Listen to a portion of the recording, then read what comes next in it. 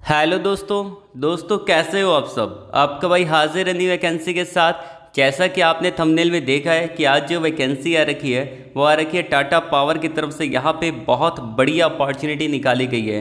Basically यहाँ पे कौन कौन अप्लाई कर सकता है, क्या एलिजिबिलिटी क्राइटेरिया रहने वाला है और अपने को कैसे अप्लाई करना है स्टेप बाय स्टेप पूरा प्रोसेस बताने वाला हूँ। वीडियो को पूरा देखिएगा, बिना स्किप किए।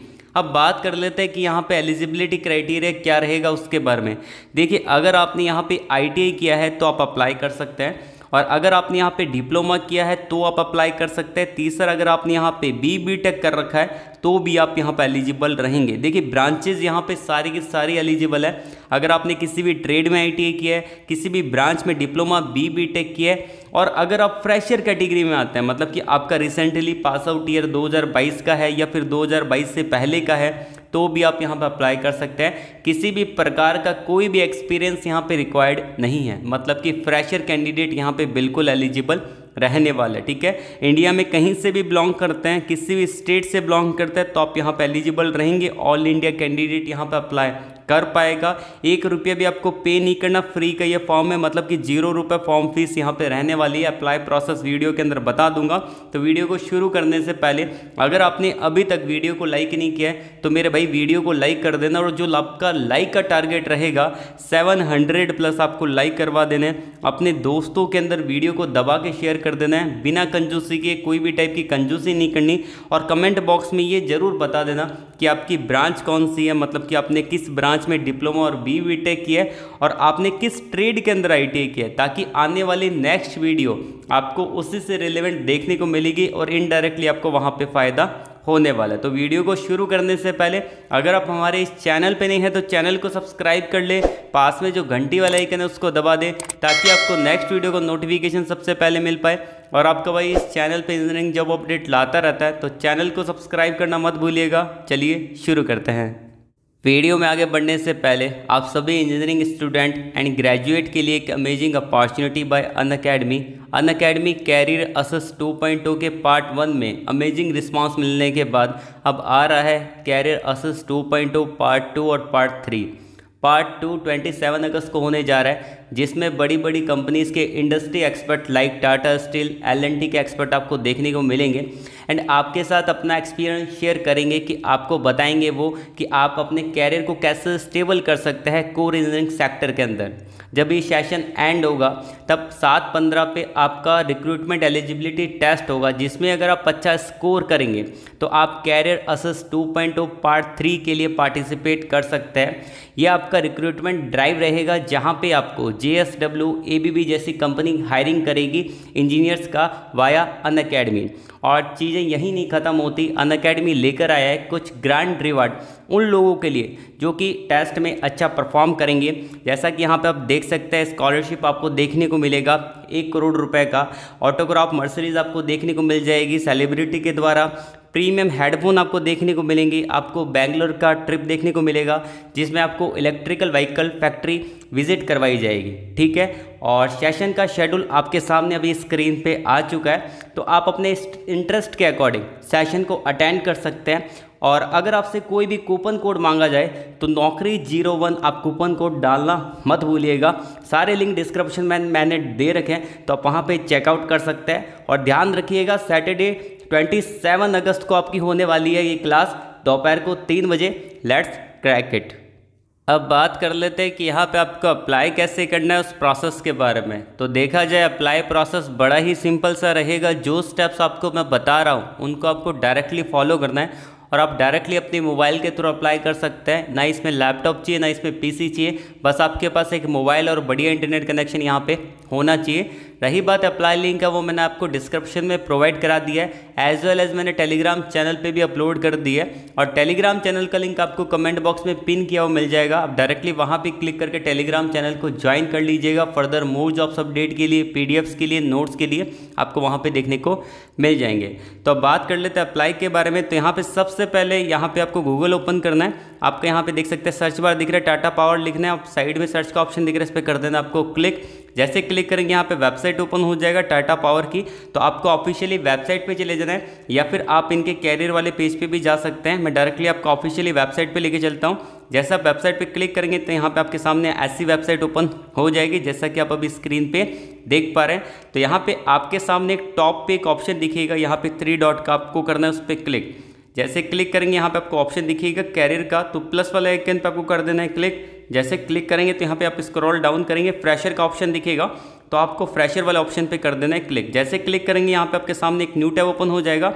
जैसा कि आप यहाँ पे स्क्रीन पे देख पा रहे हैं कैरियर अपॉर्चुनिटी फ्रेशर यहाँ पे आप देख सकते हैं। जो भी वैकेंसी यहाँ पे निकाली जाएगी, वो फ्रेशर के लिए ही रहने वाली क्योंकि यहाँ पे देख पा रहे हैं फ्रेशर के अंदर ही ये वैकेंसी को निकाला गया तो आप स्क्रॉल डाउन करिएगा, यहाँ पे आप देख सकते हैं एम्प्लॉयमेंट अपॉर्चुनिटी वाले सेक्शन में आप क्लिक करिएगा। जैसे क्लिक करेंगे, यहाँ पे आपके सामने कैसा टैब ओपन हो जाएगा। जैसा कि आप अभी स्क्रीन पे देख पा रहे हैं जॉब सर्च का यहाँ पे टैब ओपन हो जाएगा।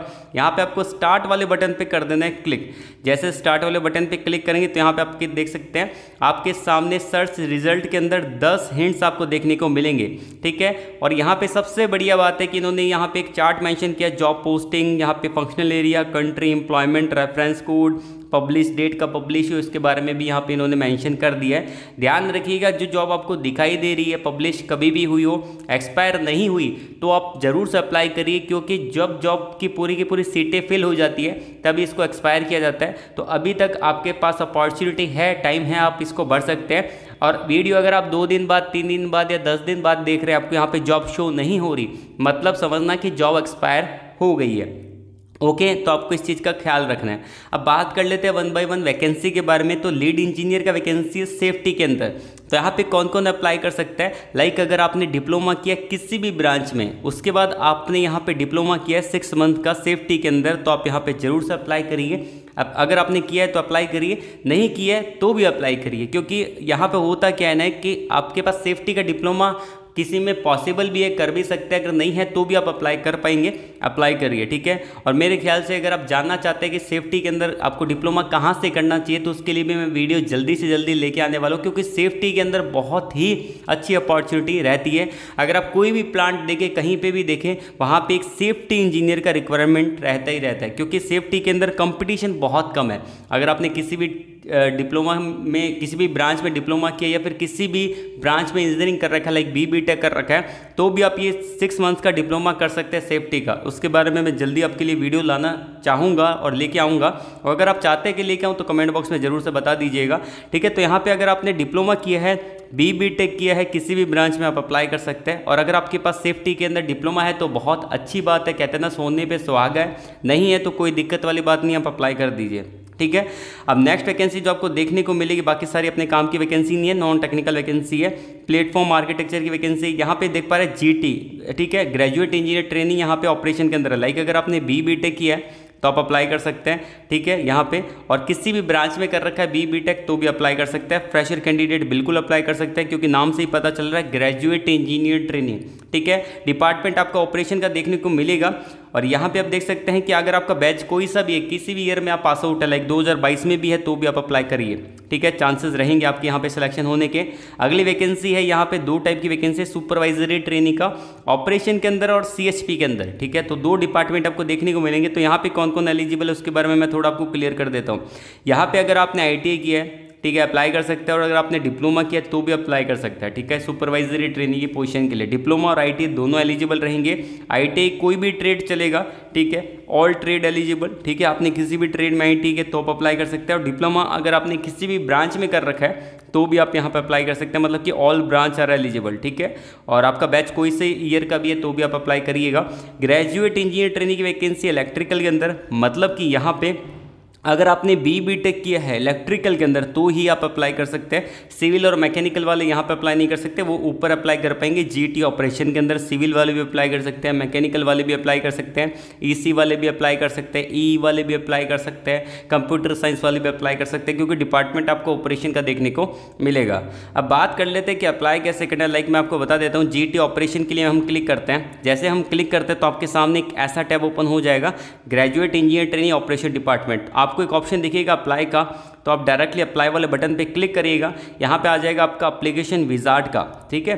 तो आपके सामने अप्लीकेशन विजार्ड का ऑप्शन आएगा तो डायरेक्टली आपको यहाँ पे क्या करना है? इस फॉर्म को आपको सबमिट करना है और यहाँ पे नॉर्मली है, आप इसको सबमिट कर सकते हैं। Yes I have read the data privacy statement and policy I accept it register वाला ऑप्शन पे क्लिक करके इसको रजिस्टर कर देना है। देन फिर आपको कंटिन्यू करके इस फॉर्म को पूरा भर देना है। मैंने इस पर काफ़ी वीडियो भी बनाए, ठीक है? अप्लाई प्रोसेस पे, उसका लिंक मैं आपको डिस्क्रिप्शन में दे दूँगा, उसको आप अच्छे से देख लेना अप्लाई प्रोसेस समझा रखा है, ठीक है? और अगर आपको कोई भी डाउट है, कुछ भी चीज़ आपको पूछनी है, कुछ समझ में नहीं है तो आप नीचे कमेंट बॉक्स में कमेंट करके पूछ सकते हैं।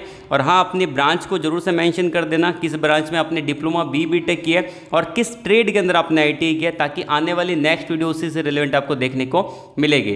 तो आज के लिए बस इतना ही। वीडियो को लाइक करिएगा शेयर करिएगा लोगों तक जिनको जॉब की नीड एंड कमेंट करके ज़रूर बताना कि आप कौन सी जॉब सर्च कर रहे हैं, ताकि वो जॉब आपके लिए हम ला सके। And WhatsApp Telegram LinkedIn Facebook से जुड़ने के लिए हमने डिस्क्रिप्शन में लिंक दे रखा है। आप डायरेक्टली वहाँ पर क्लिक करके ज्वाइन कर सकते हैं. ऑल द वेरी बेस्ट जय हिंद